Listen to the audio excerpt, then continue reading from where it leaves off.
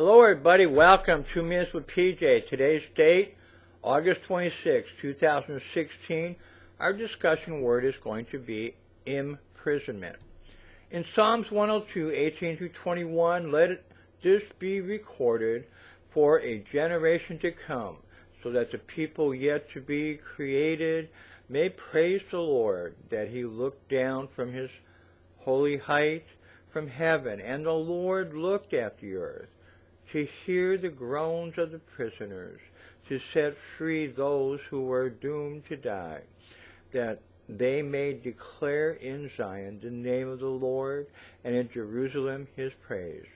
In Ezra 7:26, and whosoever will not do the law of thy God and the law of the king, let judgment be executed speedily upon him, whether it be unto death, or to banishment, or to confiscation of goods, or to imprisonment.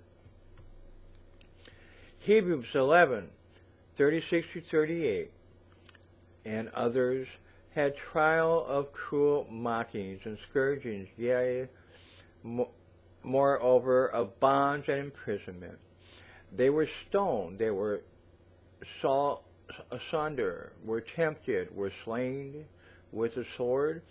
They wandered about in sheepskins and goatskins, being destitute, afflicted, tormented, of whom the world was not worthy. They wandered in deserts and mountains and in dens and caves of the earth. 1 Peter 5, 6 7. Humble yourselves, therefore, under the mighty hand of God, that he may exalt you in due time, casting all your care upon him. For he cares for you. Here's what I'm getting. God saw that Israel had been in prison in slavery for 400 years. He heard their cries and sent Moses to rescue them. Those who don't follow God's laws will be imprisoned for their sins.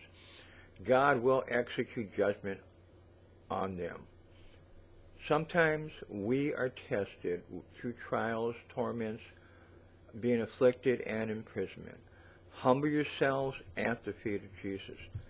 God promises to always be there, even during times of imprisonment. When you think about this today, have a blessed day.